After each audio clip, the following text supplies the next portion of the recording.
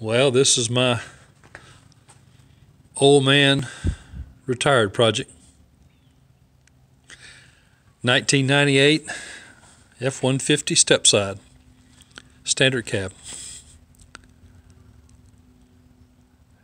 At first glance, you think it's nothing special, but let me tell you, um, I had to look long and hard for this thing because I wanted this is just what I wanted. I wanted the stepside standard cab, SLT package on the inside. And I found this in Whittier, California.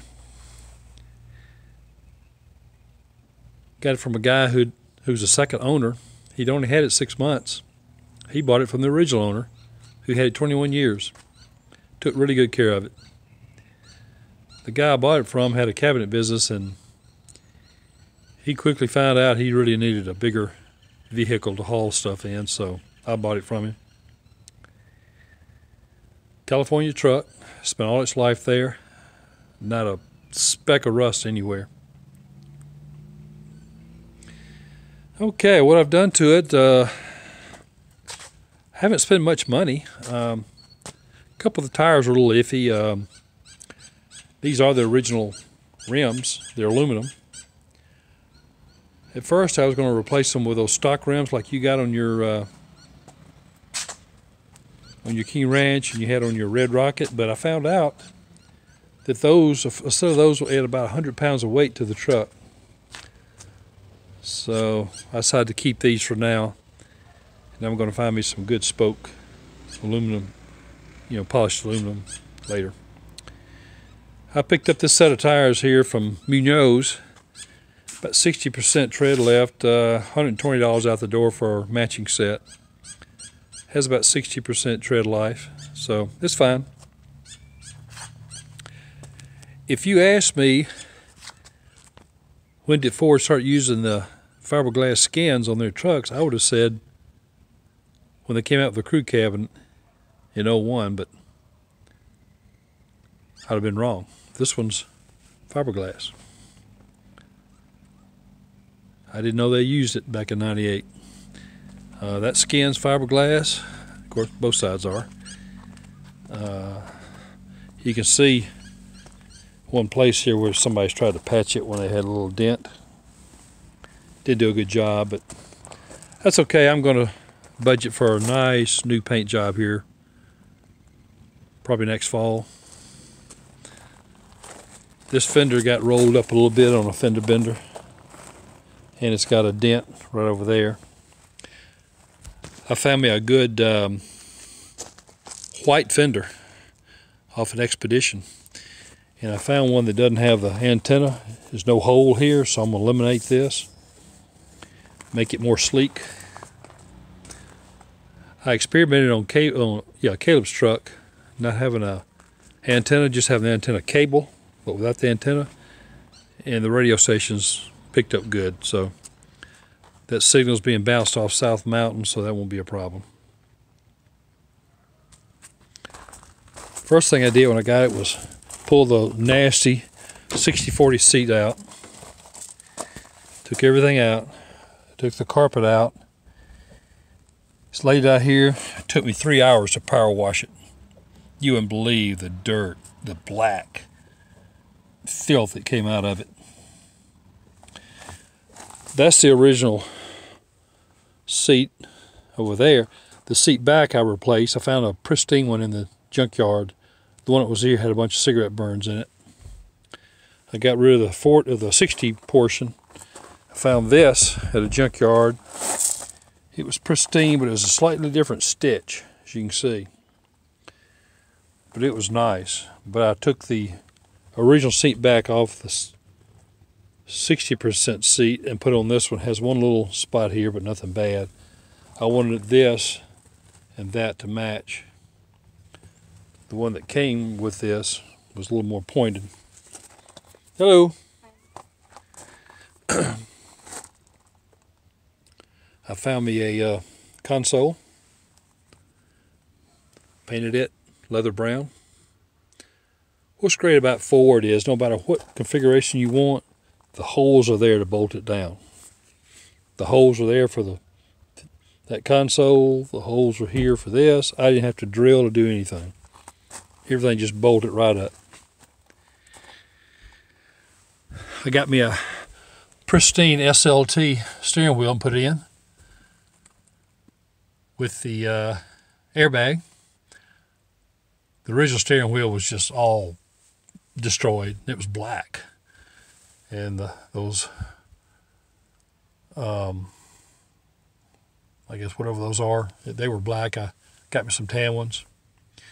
This was busted or just cracked from the sun up here. I went and got a good one at a junkyard. And I got them, I sanded them down, did three coats of paint, sanded all of it with 300 sandpaper, three more coats of paint, and then five coats of polyurethane. Even took these all apart, did them, put the new radio in. This face here was all faded, the colors were faded, and I got me one off a junkyard, like brand new. Dashboard's good. It's got a few places nothing big. This was scratched up pretty bad. I got one of these at a junkyard and put it in, so that helped a lot.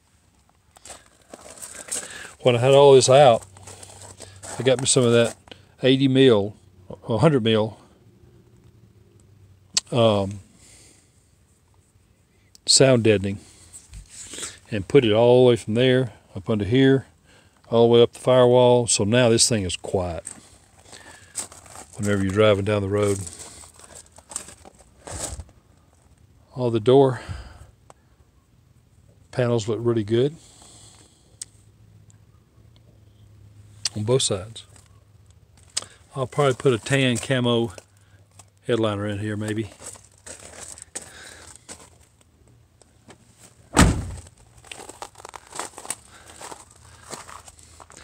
I don't know if I mentioned it or not, but what was amazing was everything on this truck worked great.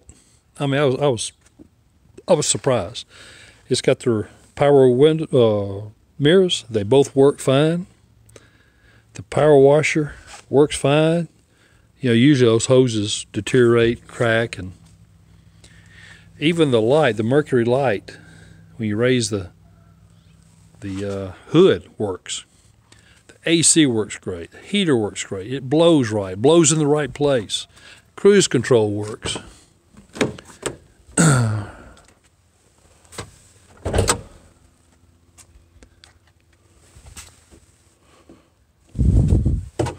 Still got the nice storage back here. So uh, that's a good thing.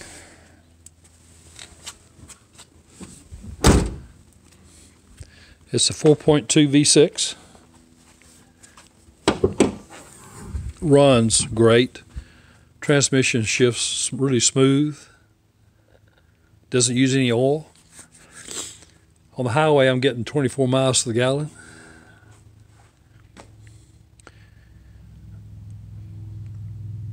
Some point in its life, it lost its liner up here, a cloth liner. So look at all that heat baked dirt, grime. But what I did is I went and got me some. I tried everything. I tried gas, soap. I went and got some rubbing out uh, compound. Nice work. it's a lot of rubbing, but look at the difference. So I'm just doing a little at a time. I'm going to do all this.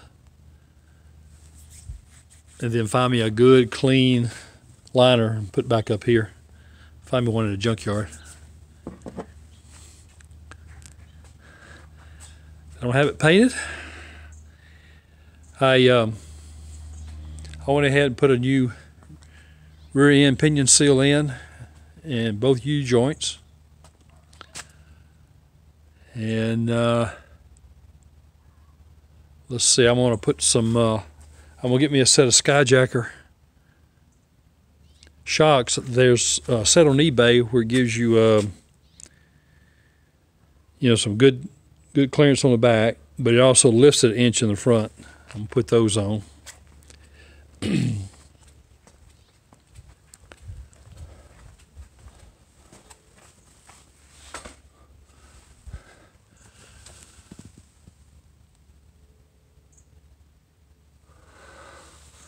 All right, well, you know what's keeping me busy right now?